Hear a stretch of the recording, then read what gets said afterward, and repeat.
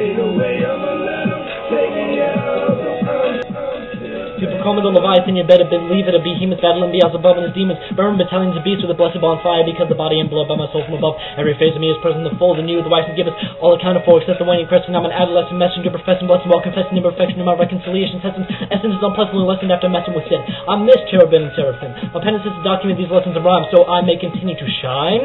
The best white rapper y'all have never heard of. 112 states of microphones have murdered. Black Irish sets the place ablaze. The holy flames that send everybody into a haze, keeping your days long after the show. Let it be known, Black Irish plants and sows the seeds of peace. With my rhyme and my flow, I try to carry God everywhere that I go. Rapping sweeter than canaries, got more bread than granaries. I write as wildly as predatory menageries. Black eyed, divine and conquer systematically when I'm rewriting history with my poetic imagery. I think it is evident I'm in my element, getting all dirty like rolling in sediment, eloquent, dominant, prevalent, eminent, spit like the ghetto and roll like the tenements. Packing napalm into my stanzas, blow your mind away as if I were a panzer tank, a point blank, till the degree burns, all the while your head spinning 360 degree turns. Cheer.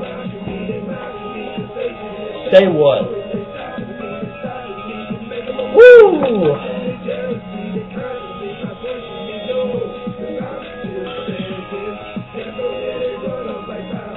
Ken Capone producing this beat.